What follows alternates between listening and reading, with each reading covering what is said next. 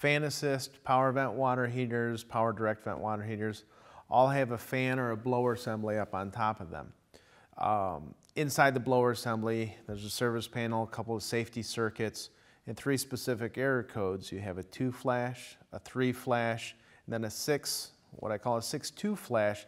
They're all encompassed around pressure switch operation, temperature safety switch operation, and in some cases, we're gonna to have to lean on the manometer or a couple of tools to do greater definition or diagnostics.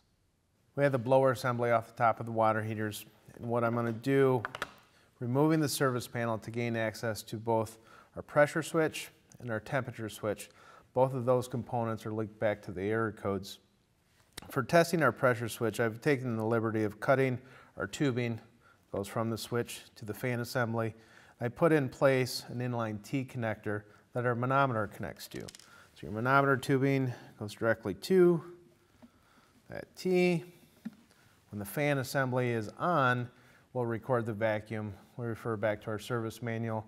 Is a good vacuum or a vacuum that needs further evaluation.